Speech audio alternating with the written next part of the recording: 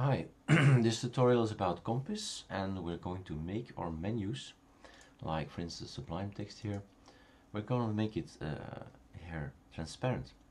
In, Com in Compton yes we can set menus to be transparent. So I wondered can you do the same with Compiz? Yeah you can. It's hidden somewhere in one of these little icons and I believe it's in here in opacity, brightness and saturation. So we're activated already. Opening it and checking it out at this point in time does not help as you see.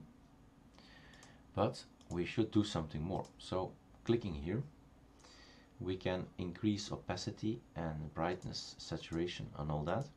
We want to talk about opacity so which is transparent so Windows specific settings, Windows, Windows, okay, let's take a new one and let's move this one over here if we can. So this is the wibbly wobbly of Compiz.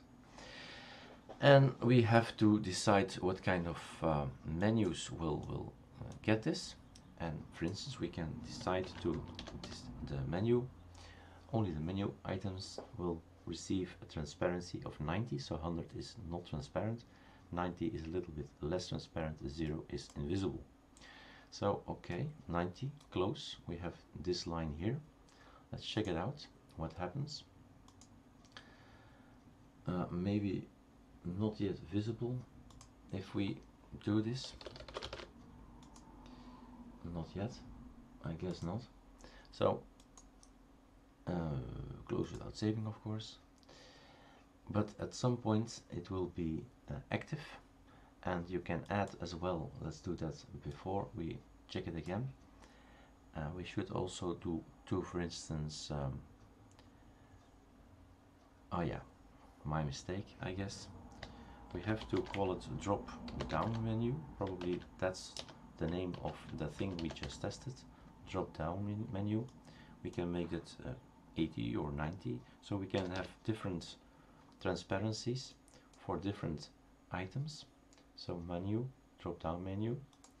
What else uh, topics? What topics are there more? Uh, like um, tooltips. We have sometimes tooltips. And we can set the tooltip to be 90 again. Of course you can add uh, all of them also together. Like so tooltip and then this large bar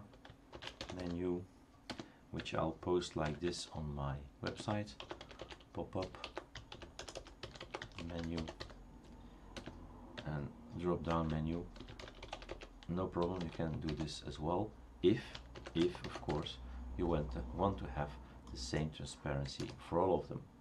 So that's also a possibility. You don't need to do it all by yourself but if you want to decide to have this one a little bit more transparent than the other of course you need to so otherwise I was only missing this one I think.